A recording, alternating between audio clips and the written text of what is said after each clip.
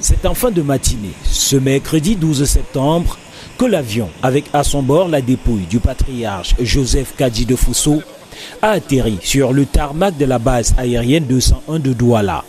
Au bas de la passerelle, l'émotion est intense.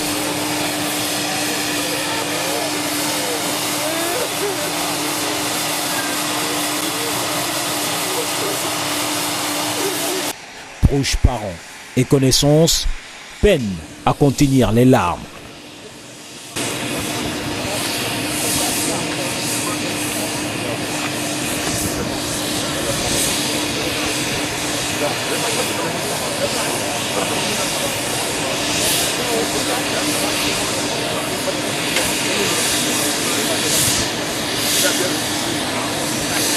Tout juste quelques minutes et le corps du magnate des affaires retrouve le sol du pays natal et d'une ville de Douala qui a vu fleurir ses entreprises.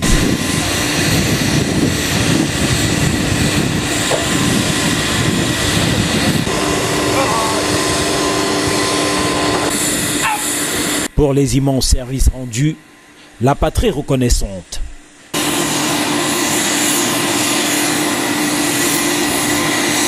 Les honneurs militaires viendront consacrer cette reconnaissance et surtout ouvrir la trajectoire finale du dernier voyage de celui-là qui avait été élevé à la dignité de grand officier de l'ordre de la valeur.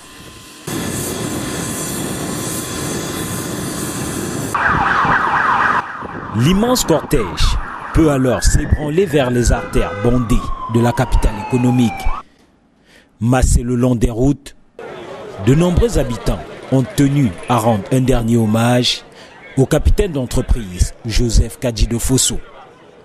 Premier arrêt, l'un des fleurons du groupe éponyme, l'Union camerounaise de brasserie, fondée en 1972. Une aide d'honneur est réservée par les employés de cette structure brassicole au père fondateur. Ces derniers délivreront d'ailleurs à son endroit un discours hommage. Il me choix, en ma qualité de représentant du personnel, de prendre la parole au nom du personnel de l'Union camerounaise des brasseries, afin de rendre notre dernier hommage à notre papa, à nous tous, qui est un modèle, un PDG, un promoteur de notre entreprise que nous avons, que nous venons de citer plus haut. Décédé le 23 août dernier en Afrique du Sud, Nelson Mandela dit 46 ans après, plus tard, il nous quitte en laissant UCB debout et vivante.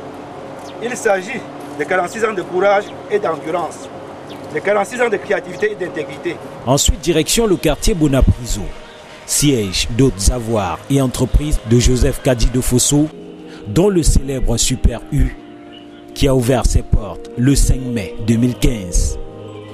La dépouille sera enfin acheminée à sa résidence au quartier Bonanjo. Autorités, collaborateurs, connaissances et personnalités diverses se succèdent pour lui rendre un dernier hommage. À l'appel du ciel, l'accompagnement mérité des hommes. L'acte final de ces obsèques est prévu le samedi 15 septembre à Bana, son village natal.